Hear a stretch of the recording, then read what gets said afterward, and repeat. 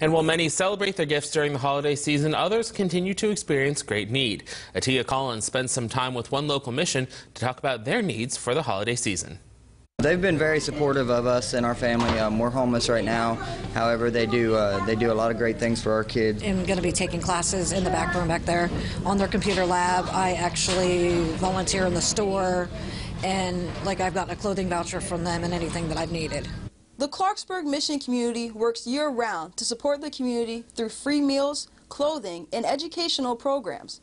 During the holidays, the mission sees a higher flow of visitors, and it is crucial to have community support in order to stay active.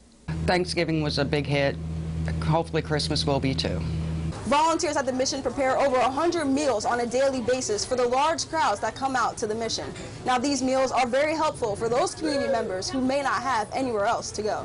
Volunteers say that while they have turkeys left over, canned goods and warm clothing are in high demand. Right now, especially, we're needing like canned fruits, coats, boots, uh, hats, gloves, scarves, winter apparel, and clothing would be perfect this time of year. Volunteers are also needed for daily operations and upcoming events like the Christmas dinner. We can use volunteers, and if they want to even uh, bring it and serve it, they're more than welcome to do that also. Visitors say it's the volunteers that make the place feel like home. They care about you. They actually want to see you do good, and they will actually help you.